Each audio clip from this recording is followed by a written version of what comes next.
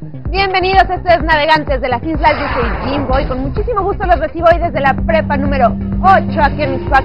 Una de las prepas, la verdad, la verdad, la verdad, más chidas, donde hemos tenido un recibimiento súper, súper, súper increíble. Y bueno, hoy vamos a estar aquí todo el día descubriendo cómo vive la gente, cómo buscan evadir el aburrimiento, cómo van, um, no sé, a buscar a la tremenda corte por los pasillos, porque puede suceder que estén navegantes en tu prepa y de repente aparezca un grupo súper chido. Vamos a ver, ¿qué es lo que sigue?